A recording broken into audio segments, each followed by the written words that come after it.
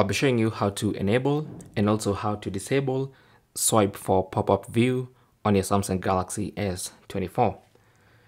So go to settings, under settings, scroll down to advanced features, tap on that, and then under advanced features, go to multi-window, tap on that, and then you should see swipe for pop-up view.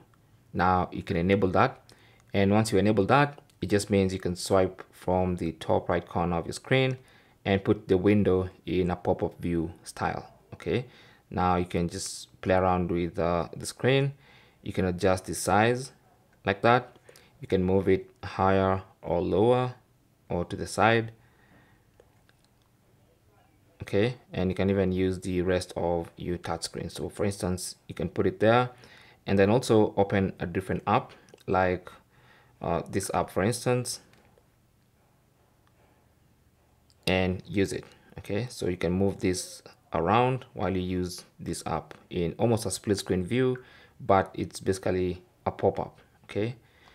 So to disable that you want to go ahead and turn off swipe for pop-up view and that's going to remove that okay? Now to remove a pop-up window just hold the top and then drag it down and release it on remove like that. So that's basically how to enable or disable that particular feature. Thanks for watching. Comments and questions down below and good luck